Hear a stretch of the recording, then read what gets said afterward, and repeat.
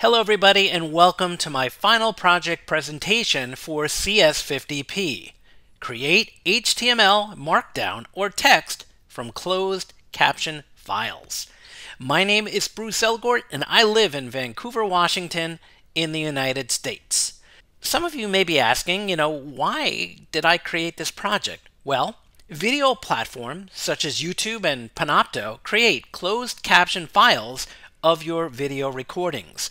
Currently, people would have to scrub through a video to find the particular spot where a topic was talked about that they may be interested in. Some people just don't like watching videos either and prefer reading a transcript.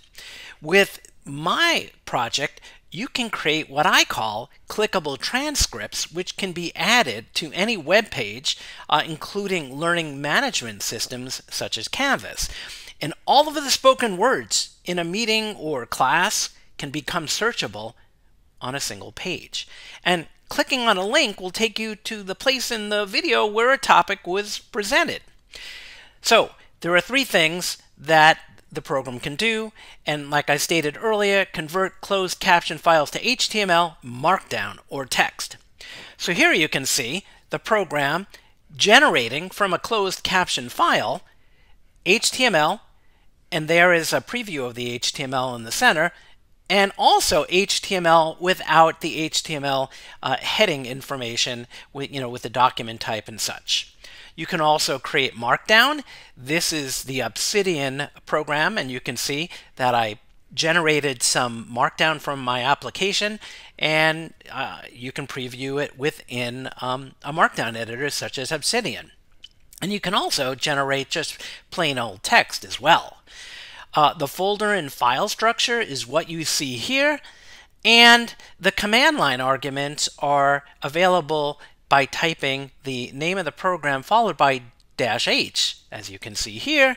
And then here are some sample runs of the program itself.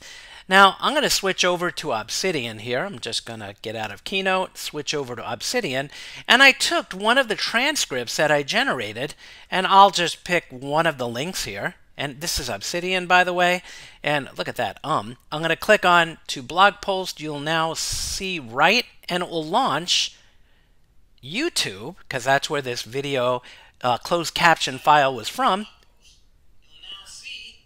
And there you go. So that's the application uh, in action. Well, that's the result of the application in action.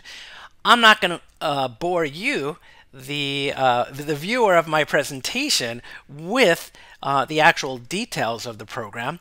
But I just want to say thank you to everyone involved with CS50P uh, at edX, Harvard, whoever, uh, including all those people in uh, in the online world who were able to answer questions and and so forth. So that's it. I hope this three minute presentation gave you what you needed. Thanks a bunch.